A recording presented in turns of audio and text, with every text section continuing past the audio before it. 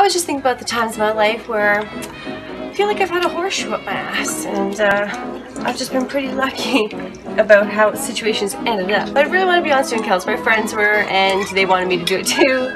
So we made up a position called Minister of Flotation, which meant I went around and I helped everybody when they needed it. And we all made t-shirts of what our title was and all this. And of course, the, on mine, we added Minister Flotation Devices because it's funny.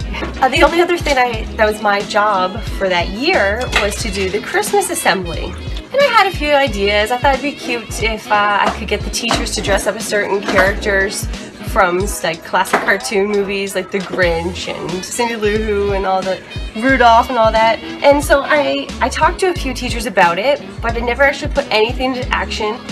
I never planned anything. I get up that morning, I'm like, fuck, I have this assembly I have to do today, and I don't have anything planned. When I got towards school, I thought I could have at least brought a movie. I didn't even bring a fucking Christmas movie to play.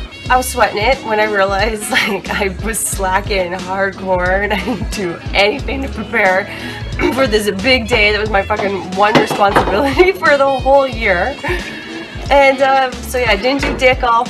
Finally get to school and I'm like, what's going on? It seems like everyone's coming back and walking away, but nobody's passed us yet, so we still don't know what's going on until we get close up and uh, someone says the transmitter or something like that blew.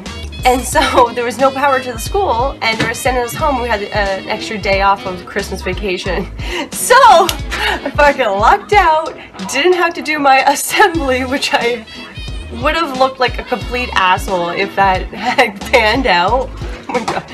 Could you imagine me standing in front of the school just be like, well, Merry Christmas, let's sing some Christmas carols? I don't know.